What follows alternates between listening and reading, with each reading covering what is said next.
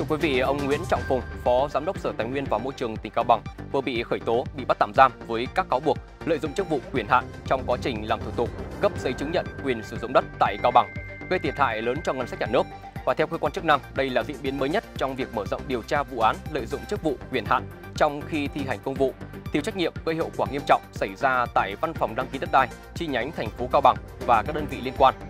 Trước đó, một số lãnh đạo cán bộ khác thuộc ờ, chi cục thuế thành phố Cao Bằng, văn phòng đăng ký đất đai và phòng quản lý đất đai, Sở Tài nguyên và Môi trường tỉnh cũng đã bị khởi tố. Những người này bị khởi tố vì có sai phạm trong quá trình cấp giấy chứng nhận quyền sử dụng đất tại lô đất trụ sở Đoàn nghệ thuật tỉnh Cao Bằng vào tháng 9 năm 2017, gây thiệt hại ngân sách nhà nước khoảng 9 tỷ đồng. Thưa quý vị, ở Viện Vệ sinh Dịch tế Trung ương, Bộ Y tế đã có công văn gửi các tỉnh, thành phố, các viện vệ sinh dịch tế Pasteur về việc tăng cường triển khai tiêm chủng và nhu cầu bổ sung vaccine phòng COVID-19 AstraZeneca trong giai đoạn từ tháng 4 đến tháng 6 tới.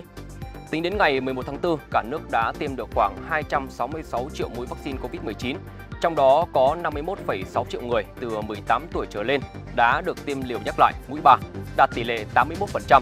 Tuy nhiên, tỷ lệ này không đồng đều trên cả nước và vẫn có nhiều địa phương đạt thấp dưới 80%. Số vaccine AstraZeneca hiện còn tại các tuyến là khoảng 300.000 liều. Tổ chức Y tế Thế giới WHO nhấn mạnh tiêm vaccine vẫn là biện pháp hiệu quả nhất để phòng chống COVID-19. Tổ chức này đề xuất những người có nguy cơ cao nên tiêm một liều bổ sung sau 12 tháng kể từ lần tiêm nhắc lại gần nhất.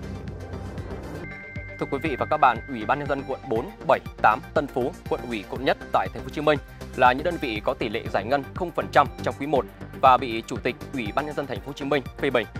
Ủy ban dân thành phố Hồ Chí Minh vừa ban hành văn bản nhằm đẩy mạnh triển khai giải ngân các dự án đầu tư công trên địa bàn thành phố. Đến hết tháng 3, tổng số vốn giải ngân của thành phố là 1.608 tỷ đồng, mới chỉ đạt 4% so với kế hoạch được giao. Có đến 25 trên 61 chủ đầu tư có tỷ lệ giải ngân 0%, trong đó có Ủy ban dân quận 4, 7, 8 Tân Phú, quận ủy quận Nhất, hoặc ngay cả chủ chủ chốt trong công tác này như Sở Tài nguyên và Môi trường cũng là 0%. Chưa kể có 5 trên 61 chủ đầu tư giải ngân vỏn vẹn 1%, 14 trên 61 đơn vị giải ngân chỉ từ 2 đến 6%. Để đạt được tỷ lệ giải ngân đạt ít nhất 95%, tốc độ giải ngân như trên là điều mà toàn thể lãnh đạo thành phố chăn trở.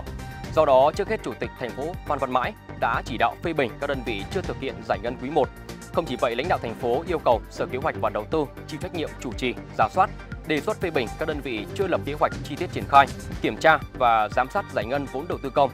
Năm 2023, thành phố Hồ Chí Minh được phân bổ 70.000 tỷ đồng cho vốn đầu tư công, cao gấp 2 lần so với kế hoạch vốn đầu tư công năm 2022.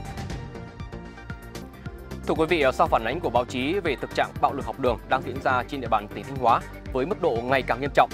Ủy ban dân tỉnh Thanh Hóa đã có công văn tăng cường công tác phòng chống bạo lực học đường trên địa bàn tỉnh. Theo đó, yêu cầu Sở Giáo dục và Đào tạo chỉ đạo các cơ sở giáo dục trên địa bàn tỉnh tăng cường công tác tuyên truyền, giáo dục pháp luật về bạo lực học đường, xâm hại trẻ em cho học sinh, phối hợp giữa nhà trường, gia đình và xã hội để quản lý, giáo dục học sinh kịp thời ngăn chặn các hành vi, biểu hiện vi phạm đạo đức, bạo lực học đường. Đặc biệt, Chủ tịch Ủy ban dân tỉnh tỉnh Thanh Hóa yêu cầu chỉ đạo thủ trưởng các cơ sở giáo dục đôn đốc phối hợp chặt chẽ với cơ quan chức năng để giải quyết nguyên nhân gây ra bạo lực học đường. Trường hợp nếu để ra để xảy ra vụ việc tại đơn vị thì phải chịu trách nhiệm và phối hợp xử lý kịp thời, nghiêm minh theo đúng quy định. Yêu cầu Công an tỉnh chỉ đạo công an các địa phương tăng cường phối hợp với ngành giáo dục ngăn chặn và xử lý các hành vi vi phạm đạo đức và bạo lực học đường, tăng cường các giải pháp đảm bảo an ninh trật tự trường học. Thưa quý vị, Cục Di sản Văn hóa vừa có công văn gửi Sở Văn hóa Thể thao và Du lịch, Sở Văn hóa Thể thao các tỉnh thành phố liên quan để làm rõ thông tin nhiều sắc phong của Việt Nam bị bán đấu giá ở Trung Quốc. Công văn nêu trên uh, website của công ty đấu giá Thượng Hải Dương Minh, Phách Mạnh Hữu hạn có đăng tải thông tin vào 9 giờ 30 phút ngày 22 tháng 4 tại khách sạn Majesty Plaza Thượng Hải sẽ diễn ra phiên đấu giá với tên gọi là giấy cũ phồn hoa, lịch sử văn hiến và bằng sắc trăm năm.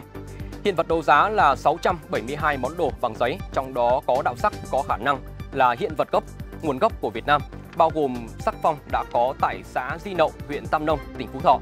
Và về việc này, Cục Di sản Văn hóa đề nghị các tỉnh, thành phố Phú Thọ, Bắc Ninh, Hà Nội, Hà Nam, Hải Dương phối hợp khẩn trương xác minh tính xác thực của các sắc phong hiện đang giao bán trên đang có nguồn gốc tại các di tích, bảo tàng và các địa điểm liên quan ở địa phương. Thu thập và cung cấp các thông tin pháp lý về sắc phong, việc mất cấp sắc phong để phối hợp làm việc với cơ quan, tổ chức liên quan về giải pháp hồi hương cổ vật, theo nội dung Công ước UNESCO năm 1970 về các biện pháp ngăn cấm xuất nhập khẩu và chuyển giao trái phép quyền sở hữu tài sản văn hóa mà Việt Nam tham gia. Chuyển sang phần tin tức quốc tế. Thưa quý vị, lực lượng không quân Hàn Quốc vừa tổ chức một cuộc diễn tập tiếp nhiên liệu trên không trong bối cảnh căng thẳng leo thang trên bán đảo Triều Tiên. Trong một đoạn video do lực lượng không quân Hàn Quốc công bố, một máy bay tiếp nhiên liệu trên không KC-330 đã tiếp nhiên liệu cho các máy bay chiến đấu trên không khi đang bay với tốc độ 530 km/h. Lực lượng không quân Hàn Quốc cho biết máy bay tiếp nhiên liệu trên không KC-330 có thể tiếp nhiên liệu cho 15 máy bay chiến đấu F-35A mỗi lần, sau đó cho phép các máy bay này bay thêm một giờ nữa. Triều Tiên đã phản ứng giận dữ trước một loạt cuộc tập trận chung gần đây giữa Hàn Quốc và các đồng minh bằng cách đẩy mạnh các vụ thử vũ khí trong những tháng gần đây. Vào ngày 13 tháng 4, Triều Tiên đã tiến hành một vụ thử tên lửa mới. Phía Hàn Quốc cho rằng Bình Nhưỡng dường như đã thử tên lửa đạn đạo xuyên lục địa thế hệ mới sử dụng nhiên liệu rắn. Thưa quý vị, ờ, trước thực tế ngày càng nhiều thực thể tại Australia bị tấn công mạng, chính phủ Australia vừa tổ chức cuộc diễn tập ứng phó với tin tặc cho các ngân hàng và tổ chức tài chính lớn nhất của nước này.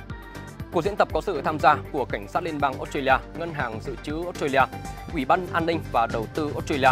Tin tặc đang là mối đe dọa lớn đối với Australia sau khi khoảng 24 triệu khách hàng của các công ty viễn thông, bảo hiểm và tài chính trở thành nạn nhân của các vụ tấn công mạng, khiến nhiều thông tin quan trọng bị đánh cắp như hộ chiếu, thẻ căn cước công dân, bằng lái xe, số an sinh xã hội, các thông tin về ngân hàng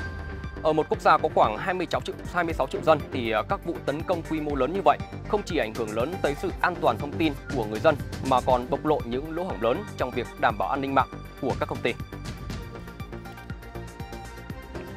Quý vị và các bạn, à, Tổng thống Brazil Luiz Inácio Lula da Silva ngày 13 tháng 4 đã bày tỏ lạc quan về triển vọng của ngân hàng phát triển mới do nhóm các nền kinh tế mới nổi hàng đầu thế giới bao gồm Brazil, Trung Quốc, Nga, Ấn Độ và Nam Phi thành lập vào năm 2015. Tuyên bố trên được Tổng thống Brazil đưa ra tại một sự kiện ở thành phố Thượng Hải nhân chuyến thăm Trung Quốc. Có trụ sở chính đặt tại Thượng Hải, Ngân hàng phát triển mới là ngân hàng phát triển đa phương nhằm huy động các nguồn lực cho những dự án cơ sở hạ tầng và phát triển bền vững tại các quốc gia thuộc BRICS, cũng như những thị trường mới nổi và các nước đang phát triển. Theo số liệu của Ngân hàng Thế giới, BRICS tập hợp các nền kinh tế mới nổi chủ chốt trên thế giới, chiếm 41% dân số thế giới 24% tổng GDP toàn cầu và hơn 16% thương mại thế giới.